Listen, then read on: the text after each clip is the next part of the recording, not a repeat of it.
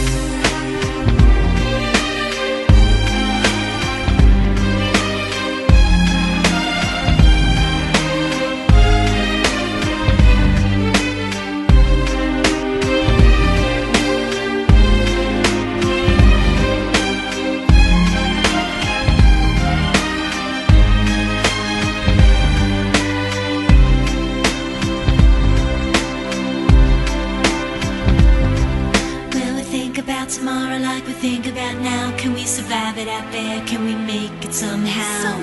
I guess I thought that this would never end. And suddenly it's like we're women and men. Will the past be a shadow that will follow us round? Will